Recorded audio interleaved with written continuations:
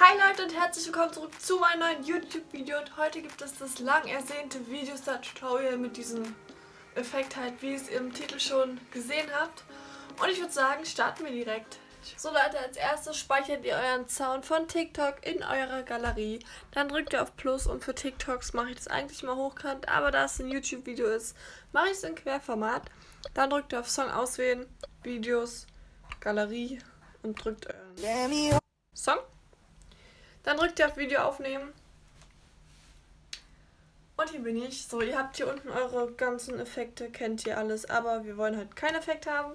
So, drückt auf dieses Rädchen, macht ihr ein bisschen runter, so passt. Und dann nehmt ihr auf. Let me hold you, come caress my body. You got me going crazy. You turn me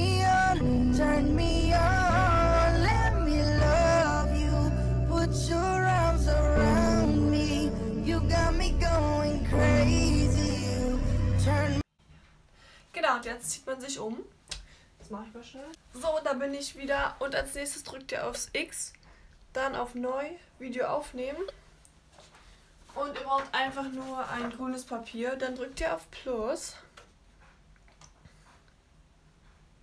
Und dann drückt ihr halt ganz links auf diesen Button. Der ist jetzt schon bei mir gedrückt.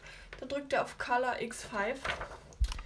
Und dann habt ihr hier euer grünes Papier, was schon fokussiert ist. Wenn nicht, geht ihr hier rauf. Ihr könnt halt ganz andere Farben noch fokussieren. Aber wir wollen ja das Grün haben, deswegen ja. Und dann drückt es auf Grün. Passt. Und drück hier runter und nimm auf Neu aufnehmen. Let me hold you, come caress my body. You got me going crazy. You turn me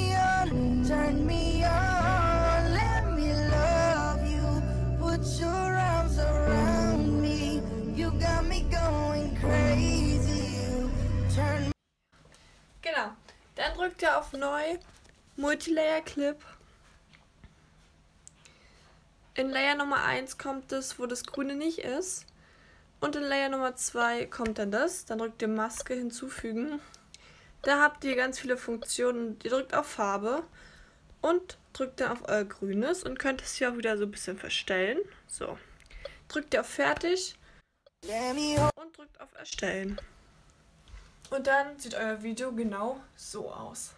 Let me hold you, come caress my body. You got me going crazy. You turn me on, turn me on. Let me love you, put your arms around me. You got me going crazy. You turn das war's jetzt mit dem Video. Ich hoffe, euch hat's gefallen. Wenn ja, gebt dem Video einfach einen Daumen hoch und schreibt mir gleich ein paar neue Ideen für Tutorials in die Kommentare von Videostar.